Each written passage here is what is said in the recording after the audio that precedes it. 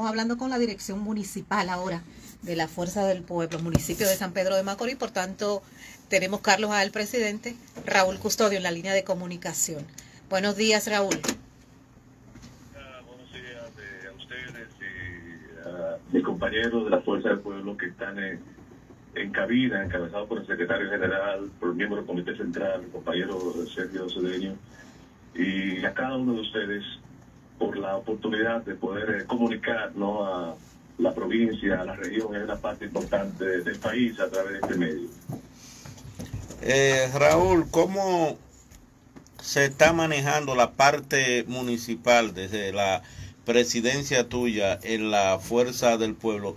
Carlos eh, López ha hablado de la cantidad de miembros que ustedes tienen, 32 mil miembros en el municipio de San Pedro de Macorís. Pues gracias, eh, Ureña. Fíjate, el compañero Carlos, que es secretario general del partido, está dando los datos, eh, se corresponde con la realidad.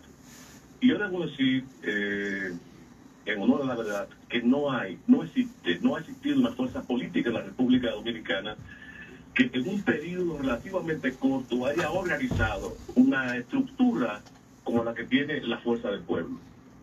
En este momento tú te trasladas a cualquiera de los sectores de San Pedro de Macorís, al más distante, a cualquier área de, las áreas rurales que corresponden al municipio cabecera y te vas a encontrar que hay una representación de la fuerza del pueblo. Hay una representación social de la fuerza del pueblo en cada una de esas comunidades, porque en el fondo los objetivos principales que han dado origen a este instrumento democrático en la República Dominicana es justamente tener un trabajo de acompañamiento, un trabajo de sensibilidad con lo que son las personas más necesitadas, con lo que son los sectores más desprotegidos, cuando están siendo maltratados por una por una eh, por autoridades insensibles que, que no piensan en, en, en los intereses de la gente que más necesita.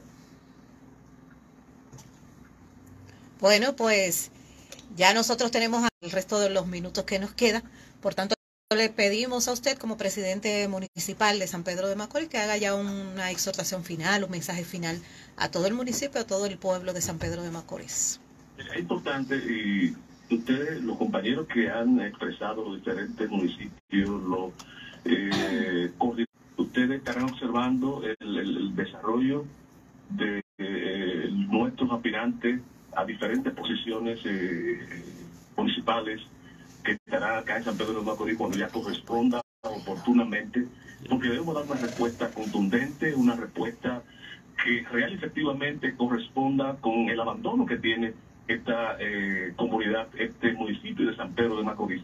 Y en ese sentido vamos a seguir trabajando eh, mano a mano, hombro con hombro y sobre todo con una dirección colegiada, una dirección heterogénea, donde la juventud tiene un papel determinante, donde la, eh, la mujer tiene un papel también preponderante en lo que es la fuerza del pueblo. Y decimos ya finalmente que la fuerza del pueblo es un instrumento eh, democrático al servicio de la sociedad y que está enclavada en los sectores más distantes de cada uno de los municipios, de cada uno de los distritos municipales que forman parte de nuestra provincia. En ese sentido, seguiremos trabajando, seguiremos ampliando nuestro radio de acción y habrán grandes sorpresas en San Pedro de Macorís con relación al impacto de la fuerza del pueblo, con relación a lo que tiene que ver con los grandes problemas que afectan a nuestra comunidad.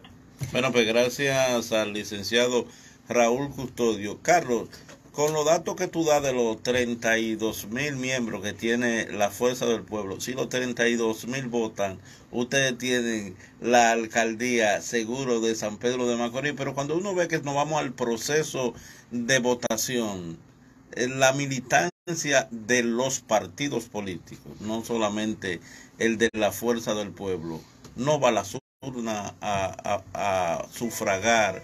¿Qué pasa ahí? Parte del trabajo que estamos realizando eh, la dirección de la Fuerza del Pueblo a nivel nacional como también local es que tratar de que los votos que tenemos, es decir, los 32 mil compañeros que están hoy, que se siguen sumando cada día más, que puede ser que al día de las elecciones nosotros tenemos alrededor de 45 mil miembros, pero siempre hay un por ciento que se queda.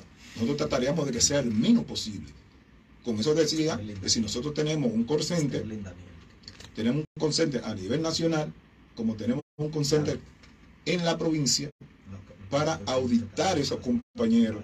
Incluso ahora hay un, eh, un, un botón meta que va a tener cada presidente de comité de base.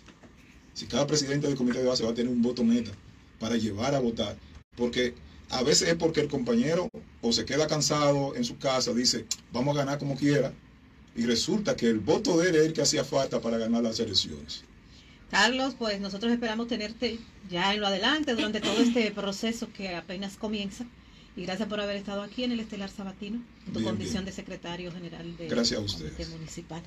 Nosotros ahora vamos a conversar con el regidor Miguel Puente. Él es miembro de la Dirección Central y también secretario general de la Dirección Municipal de nuestro querido municipio de Quisqueya. Buenos días, bienvenido al Estelar Sabatino. Bueno, buenos días a ustedes. Gracias por la oportunidad que nos dan. Somos todo oídos.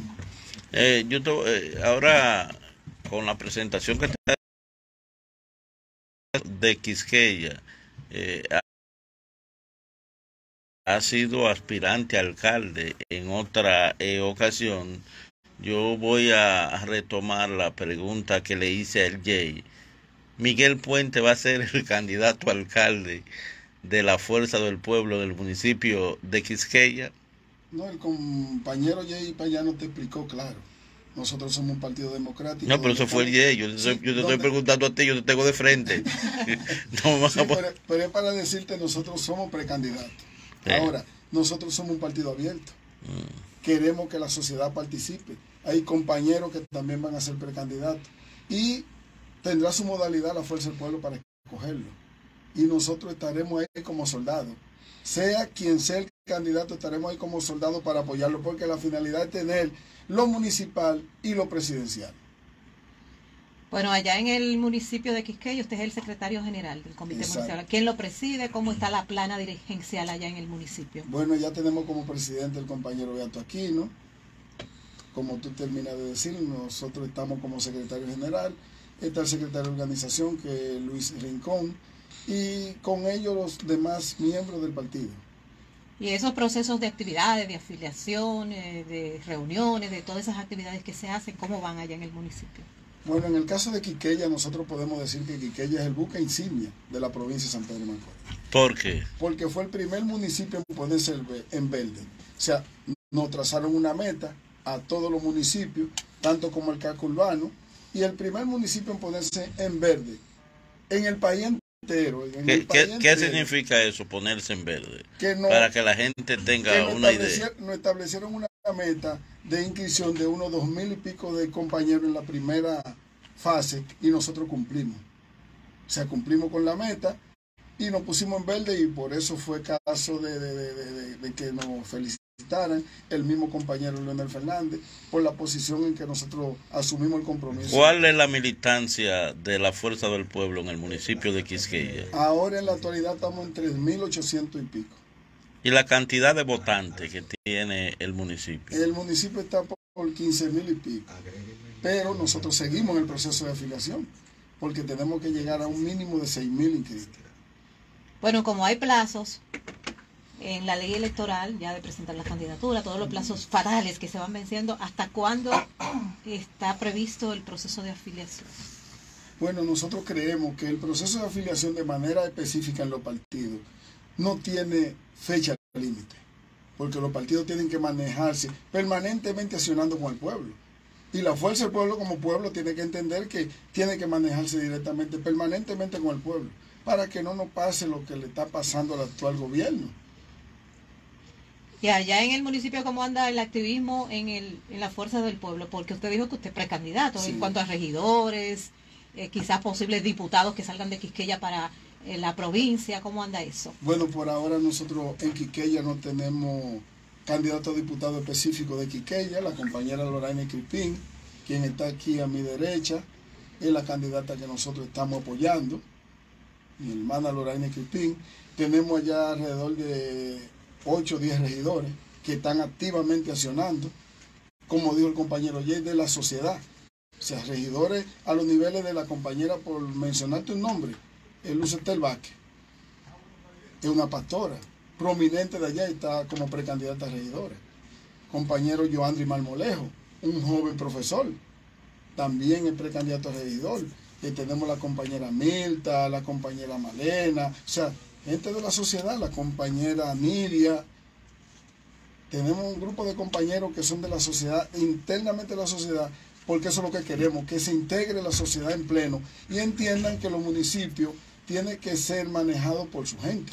Y la gente más humilde son los que entienden cómo se maneja el día a día de la persona. Miguel, si yo te pregunto que evalúe tu función como regidor, tendría que decirle a oyentes del Estelar Sabatino? Bueno, lo primero que tendría que decirle es que, que a mí no me toca evaluarme, porque yo no me voy a dar cero nunca. no, no, pero tú, eres un hombre de formación de izquierda, de manera esa evaluación que, que tú haces.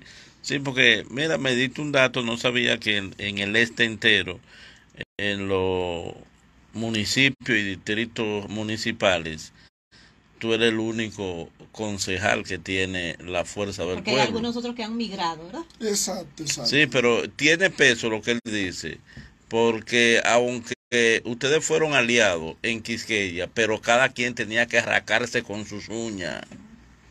Pero no solo eso, Manuel. El problema no es arracarse con sus uñas. No, que, que, el que te eligió, te eligió a ti. Porque eran, no son cinco los regidores de allá. Exacto, exacto. Pero no solo arrancarse con sus uñas, algunos datos más específicos.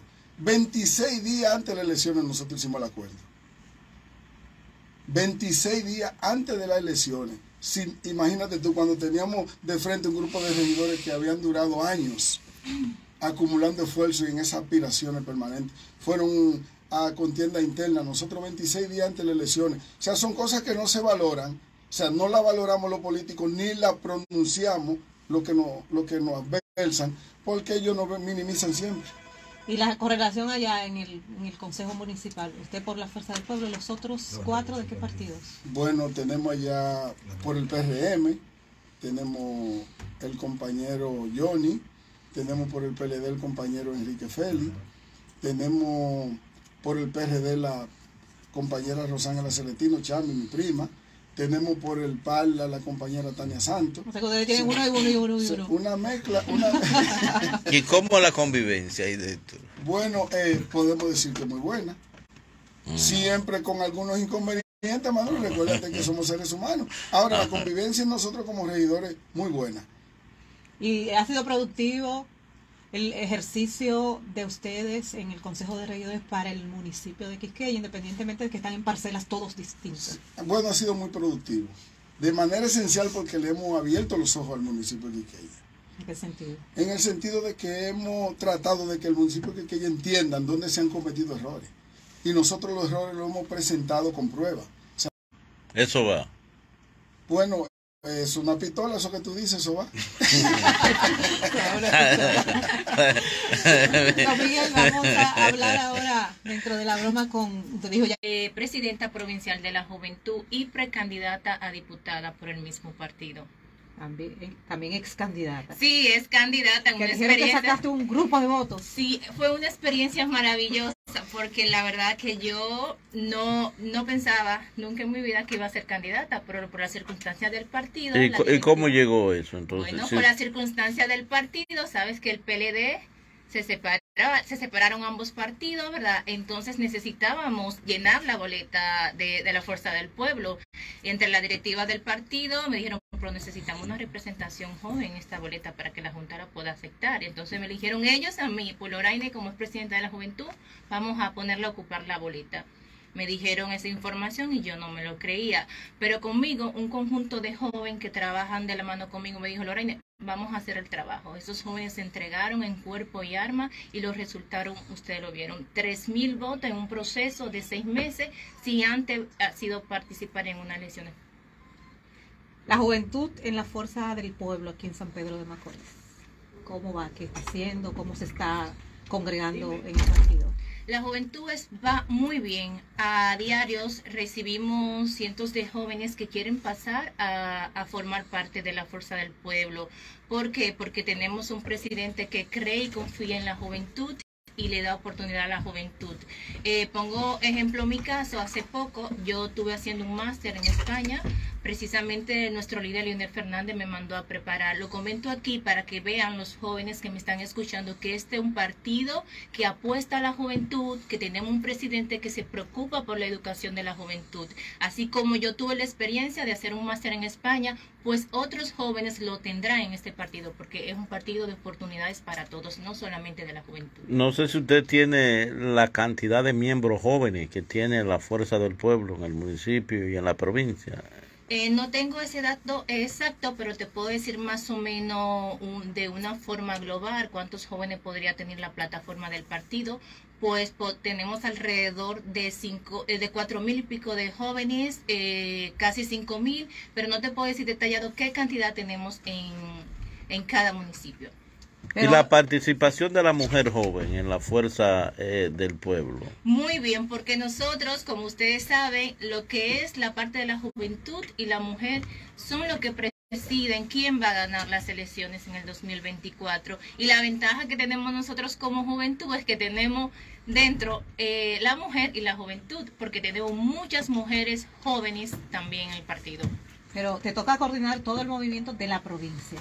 Sí, de los jóvenes. Aquí han estado presentes el municipio de Quisqueya Consuelo, el municipio Cabecera, Ramón Santana, también los Guayacanes, San José de los Llanos, te desplazas. Así es, como presidenta provincial de la juventud tengo que caminar por cada uno de los municipios. Allí tenemos representantes municipales de los, de los jóvenes, o sea, un presidente... Eh, municipal. Por ejemplo, en Quisqueya tenemos al compañero Joandri, en Gotier tenemos a la compañera Miriam, en Los Llanos tenemos a, a Valentín, en Consuelo tenemos a Yasmín y en Guayacanes tenemos a Yesibel. O sea que en cada municipio hay un representante municipal de la juventud haciendo el mismo trabajo que hago yo como enlace provincial. Y a propósito de la juventud, que hay una actividad que se ha estado mencionando aquí, que tienen ustedes en Santo Domingo, el día de la actividad, porque el día de la juventud es el próximo martes, que es 31. Sí. Pero la actividad entonces... Es el día 30. Nosotros vamos, tenemos una marcha patriótica donde vamos a estar marchando. Allí se dará cita unos más de 10 mil jóvenes que estarán acompañando a nuestro líder Leonel Fernández para celebrar el Día Nacional de la Juventud. Así que invitar a todos los jóvenes que quieran participar en este evento. Eh, las puertas están abiertas para que se puedan sumar. Nosotros tenemos alrededor de, de, de, 15 guagua y sumándose más. La actividad es del día 30. Vamos a estar saliendo de nuestro partido eh, de la independencia a las 7 de la mañana y la actividad es en el Parque Conde en Santo Domingo y empieza a, 10, a las 10 de la mañana. Será una actividad muy bonita donde va a haber artistas, va a haber muchas actividades de ocio y, y, nada, invitarle a todos esos jóvenes que quieran ser parte, que se pueden sumar juntos con nosotros. Bueno, eh, estamos arribando a la parte final del el espacio, a Miguel Puente y a la licenciada Crispín. Le vamos a dar un espacio para que puedan eh, despedirse de los amigos de esta eh, cobertura. Bueno, eh, nosotros en el caso de nosotros le hacemos un llamado al pueblo dominicano de manera específica, que tenemos una gran oportunidad en el 2024 con el doctor Leonel Fernández Rey. Tenemos que decirle al presidente Abinadel que esa cuarta clase que él asumió, la llamada Popi, nosotros lo del pueblo, lo de la fuerza del pueblo, le vamos a demostrar que el pueblo es quien manda los popis tienen que quedarse en su casa. Eso le decimos a ellos. Y también puntualizar algo que la compañera Vicenta Fernández decía. Le digo, Vicenta, Santana. decía, púseme por lo de Fernández, le busqué dinero. Pues Vicenta Santana decía, aquí en el país ya no hay plan social. Plan social había cuando estaba Lionel, que los pobres podían ir al frente del play y recoger su funda, recoger su caja. Ahora no. Ahora no hay plan social, ahora hay un plan de socio. O sea, que deben de quitar el plan social porque es un plan de socio, porque desde que usted tenga que ir a la casa de un funcionario a buscar una tarjeta para ir a comprarles un plan de socio. O sea, ¿se ha hecho fila para que el pueblo pueda retirar la tarjeta en algún sitio? No, es un plan de socio lo que él ha montado, porque entienden que el pueblo dominicano es estúpido. Y nosotros tenemos que desmontar eso también. El pueblo tiene que volver a rescatar la posibilidad de que el pobre pueda poner la comida aunque sea a las 12. Como pueblo, te damos la oportunidad y la fuerza del pueblo, valga la redundancia. Y entiendan bien, nosotros somos de causa. Y la causa tiene un fin. Solamente el fin que tienen es rescatar los valores de nuestro pueblo. Eh, licenciado.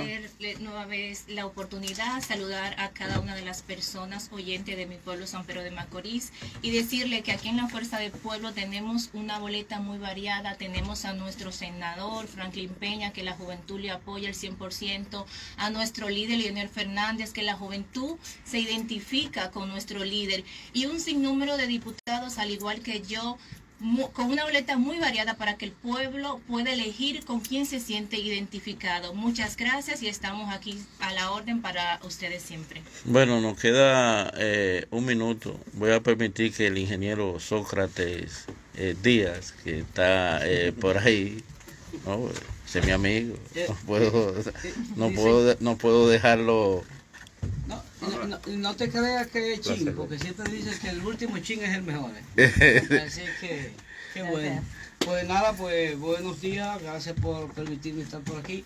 Gracias al compañero John que nos avisó para que viniéramos a hacer presencia, a, a defender y a presentar las ideas que eh, se están manejando alrededor de este crecimiento enorme que está teniendo la fuerza del pueblo, no solamente a nivel de de San Pedro Macorís, sino a nivel del país.